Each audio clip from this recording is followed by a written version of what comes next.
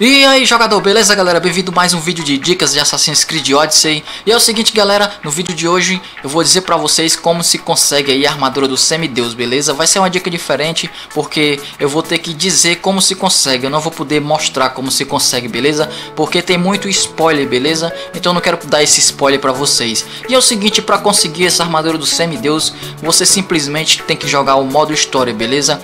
Até o final, galera. Depois que você zerar o game, automático você vai receber a parte do torso, cintura, braços e as pernas, beleza?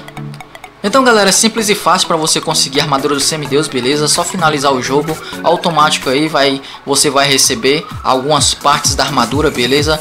Só que para você ter o bônus completo com o conjunto do semideus, que são 5 partes, ela vai dar 30% de dano em todas as habilidades, você vai precisar da parte da cabeça. E para pegar galera, a parte da cabeça vai ser um pouquinho mais complicado. Vocês vão ter que enfrentar todos os cultistas aí, beleza? Tem que enfrentar até encontrar o cabeça do cultista. Quando você for enfrentar lá o último cultista, dependendo da sua decisão, você vai receber de qualquer maneira aí a parte da cabeça tendo o set do semideus completo, beleza? Eu não vou dizer quem é aqui o último cultista porque eu não quero dar spoilers, mas vocês estão doidos para saber que eu sei, as pessoas que não jogaram ainda, não chegaram até lá, estão doidos para saber, né? Quem será? Joel! O